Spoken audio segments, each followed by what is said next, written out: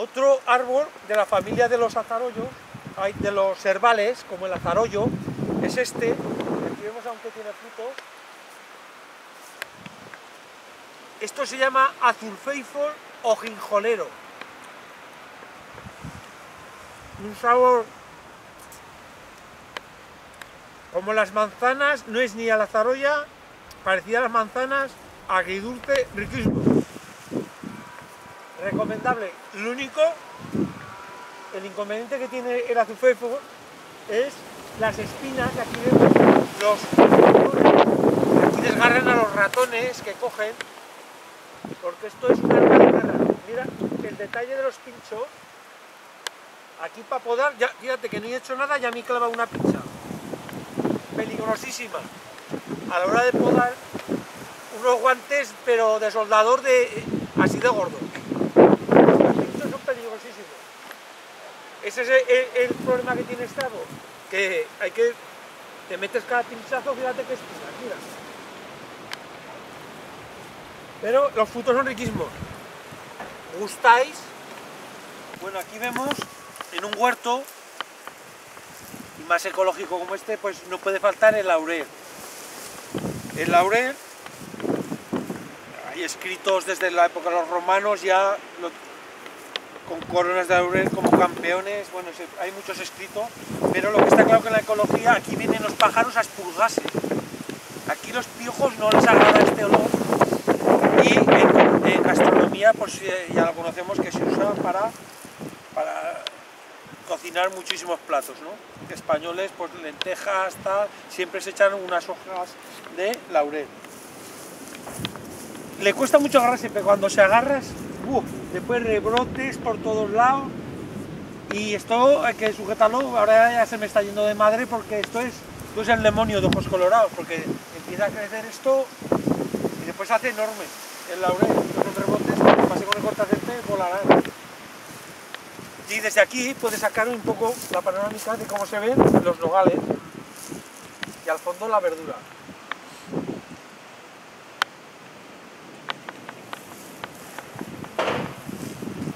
y vamos a cómo va la puta. cómo va la puta.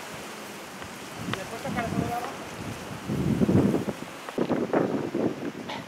Bueno, aquí vemos este chopo, como le llama Henry, pero es una frondosa, un hogar. Y parte de nueces, pues estos árboles es de 200 años la madera. Entonces, eh, que es que decía, porque estos minifundios antirrentables, pues la opción que hay es, eh, los que no tenemos herramientas pesadas agrícolas, es pues tener esto, más que nada por ecología y, medio ambiente, producir oxígeno al ambiente, porque otra cosa que es antirrentable y más para mí, ¿eh? porque esto no le va a sacar nunca producción, de aquí a 200 años a lo mejor, el que viva para entonces, eh, vemos como el terreno, como está, dentro de poco habrá que pasar el cortacésped, con no laboreo, la, hierba crece, se corta, vuelve al terreno y forma una capa pues, de materia orgánica como es en la selva del Amazonas. Y entonces ese es el abono de las logueras. Con el tiempo cuando crezcan más, ahora son jovenzanas, pues podrán, podemos coger alguna nuececilla y después lo bonito que esto será un bosque eh, con todos pajaricos que vendrán aquí a cantar, porque eso hay gente que le gusta mucho las flores. A mí me gustan los pájaros porque ver aquí venir a los ruiseñores, a los, carboneros, a los petirrojos, a, a los chochines, venir aquí y ver cómo el día de mañana harán los niditos. Esto es, no se paga con dinero, ver el medio ambiente. Bueno, aquí vamos, vamos poniendo árboles correzanos. Aquí tengo un arbolito que no se ve apenas, porque está medio tapado, aquí lo vemos, aún se ve, verá aquí Henry lo verá. Para que, voy a quitarle la hierba de alrededor, que le cuesta mucho crecer. Esto es un alcornoque en un pueblo de Aragón, no me acuerdo cuál era, pues tenían en la plaza un alcornocar y estaba lleno de bellotas y cogí alguna y mira, y aquí está, y sácalo, alcornoque, que para aquí no se ven, es para la familia de las encinas,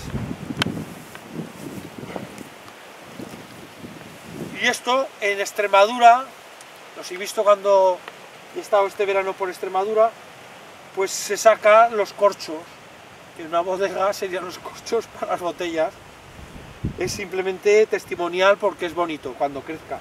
Está costando, pero cuando rompa echa raíz y tal, ya tira para arriba. Aquí vemos un kaki, es un fruto tropical que aquí aguanta y aún, ya produce. Este es de un año, piñonero, pino piñonero. Después son ricos los piñones.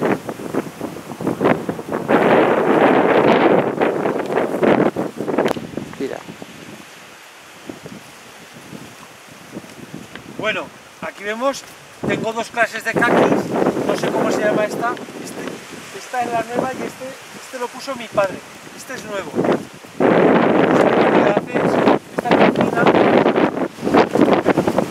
Este que es nuevo, están cogidos ya, es más fina la piel, este, este lo puso mi padre.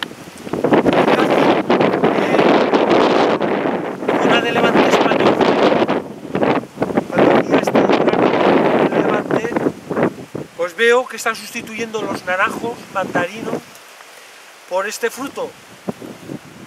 ¿Por qué? No lo sé. No sé si les es más rentable o, por cambiar cultivo. Y veo ahora muchas fincas por, por, por, el levante español de caquis, en vez de naranjos. Poco raro, pero en fin, algo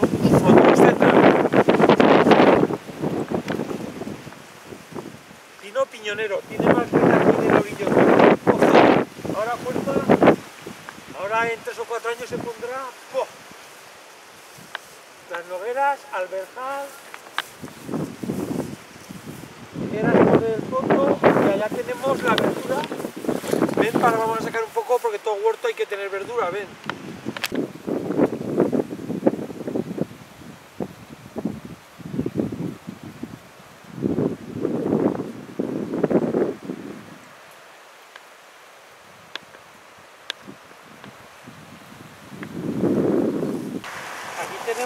las habas que sin sembrarlas simplemente el año anterior se labra un poquito y se ve así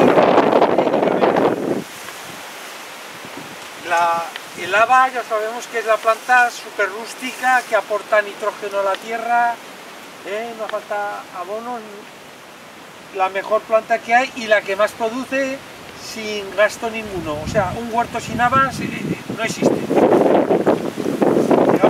alimento de los pobres porque es la planta más rústica y de mayor producción. Aparte que bien condimentada tiene mucho más gusto que la judía verde, que la judía verde si no le echas buena no sabe nada. O sea, es agua. Donde esté el lava tiene un sabor bastante, bastante mucho mejor que, la judía verde. Bueno, ahora es cuando peor se puede ver un hortal porque no hay, porque estamos ya demasiado hay para el tiempo que es, porque no hay el agua ahí están las coles, aquí les llamamos berzas, ¿eh? las piñas, o coliflor, aquí se llama piña, la coliflor, ahí se ve alguna celga, a un puerro, ¿eh? y ahí tengo tapón las chicorias de las esquerolas. Pero digo, hasta rápidamente porque de aquí a poco vendrán heladas y ya se queda todo lo que es la verdura fulminada. Las habas y hielas se fulminarán pero en enero, febrero, en marzo volverán a salir en marzo con la primavera y a, coger habas sin, sin conocimiento. Mira, por ahí vemos que nacen las acelgas y aquí tenemos pues las novelas. Y como digo, pues el no laboreo pues cortarlo con el cortacésped constantemente. Y esto es, esto es Villaflauta. volviendo a la ecología, como antes más. Recordad, las manzanas con gusano. El gusano proteínas para adentro. El que come manzanas sin gusano, peligro. Peligro. Y recordad que el vino, eh, donde esté una, una bodega va a ser artesanal, como esta que hay muchas en España, en España, aquí en, este pueblo poquísimas, eh, pues como antes más sin azufre, eh, eh, evitar los toneles, que es peligroso, que hay que azufrarlos. Eso de los toneles antes no existía y, la gente piensa que el tonel es símbolo de, ecología, nunca más lejos. El tonel nació hace 500 años porque no sabía cómo llevar el vino a América y, hasta hace 500 años no existían los toneles. Ahora se ha demostrado que es nada de nada. El tonel, nada de nada. En el mejor de los casos aporta un poquito de sabor que con echar virutas, eso ya, ya se lo agrega. La oxigenación se puede hacer de mil formas, o sea, eso de tonel descartado total y antirrentable de todas formas, para las grandes bodegas incluso.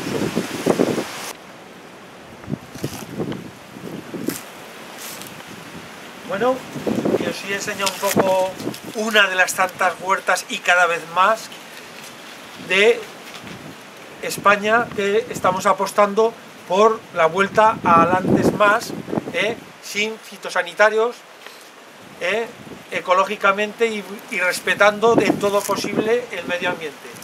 Es el oficio más bonito, junto con la ganadería, que es el ancestral, con la agricultura, es la madre de dos oficios, eh, el primero y el más importante de dos oficios que existe, que erróneamente se está abandonando, aunque ahora con la crisis industrial y tal se está volviendo a recuperar estos valores de la agricultura, porque no habría nadie, ningún cohete en el espacio, ningún ingeniero que eso si no tuvieran una celga para comérsela por la noche.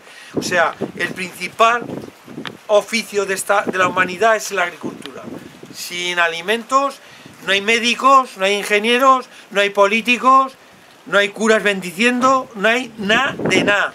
O sea, es la reina de los oficios es la agricultura y si es ecológica, mucho más.